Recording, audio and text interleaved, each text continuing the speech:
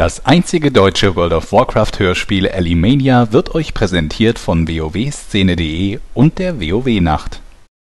Spürst du den Boden beben, siehst du den Rauch am Horizont, kannst du den Kampfbock hören, das kann nur einer sein. Dort kommt heran der wilde Horst, atmet den Hauch des Todes.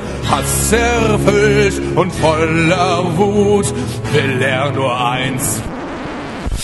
Äh, ja. Ja, was will er jetzt eigentlich? Ach, egal. Der Horst rennt, er macht alles nieder. Der Horst rennt, nichts kann ihm widerstehen. Der Horst rennt, er singt seine Lieder. Der Horst rennt und alles hinter Alimania, bleibt dran, ich schwöre euch, es lohnt sich.